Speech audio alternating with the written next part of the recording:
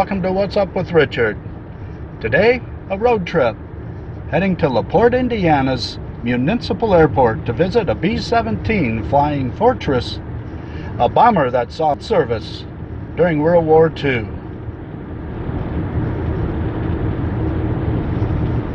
I'm here in LaPorte, Indiana, and you're looking at the bomber Sentimental Journey. It was one of 13,000 B-17 bombers built by Boeing and other manufacturers between 1936 and the end of World War II in 1945.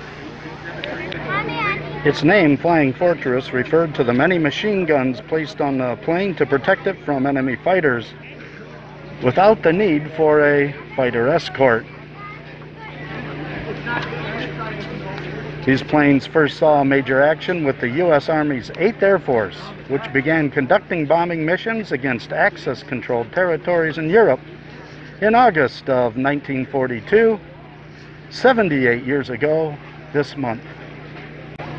Now, despite its armament, the squadron's B-17 suffered terrible losses between 1942 and 1943, with only one-third of the crews surviving the 25 required missions.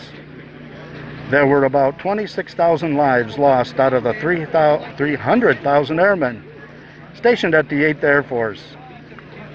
That's the highest rate of casualties of any combat service in World War II. More than Marines in Okinawa and Guam, and most happened in the first couple years. Now things got better with the introduction of the P-51 Mustang, a long-range fighter that could protect the bombers from enemy fighters. Now this aircraft did not see service in Europe. Sentimental Journey was built by Douglas Aircraft in 1944. She entered service with the Army Air Forces close to the end of 1945. After World War II, the plane was used for training, testing, and sea air rescue mission.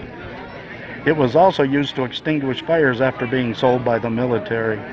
It was purchased by the CAF in 1978 and was finally restored and into flying condition by 1983.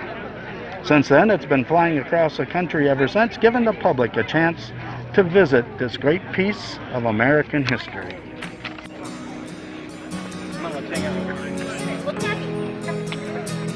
Airport.